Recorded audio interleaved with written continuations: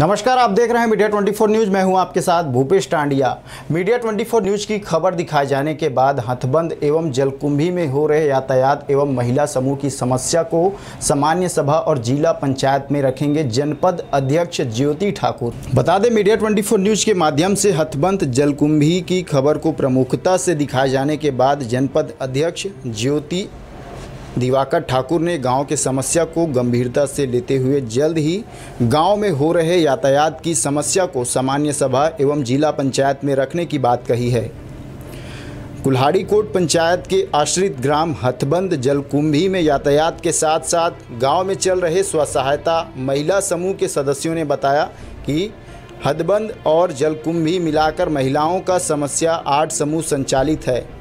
सड़क के समस्या के साथ साथ महिला समूह की जब कोई बैठक आहूत होती है तो बैठने के लिए भवन भी नहीं है।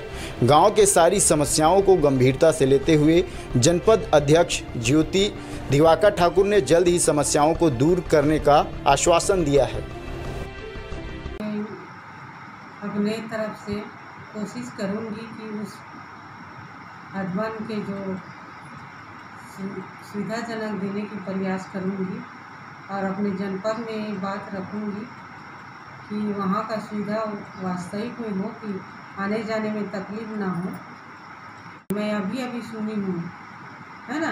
ट्वेंटी फोर चैनल को देखी तो सुनी तो मैं प्रयास ज़रूर करूँगी उस क्षेत्र के लिए। नया नया पंचायत बनी है, उससे हम ज़्यादा अवगत नहीं थे। और हम पूरा प्रयास करेंगे कि वहाँ का सुविधा देने के प्रयास ज़रूर करेंगे। और ठीक है ना, हम लोग स्वास्थ्य विभाग को बोलेंगे कि वहाँ कुछ ना कुछ सुविधा ज़रूर दिलाएँगे। बताए ना, मैं वहाँ जनपद सदस्य के वाइफ का डेट हुआ था तो वहाँ मैं नहवान कार्यक्रम में गई थी।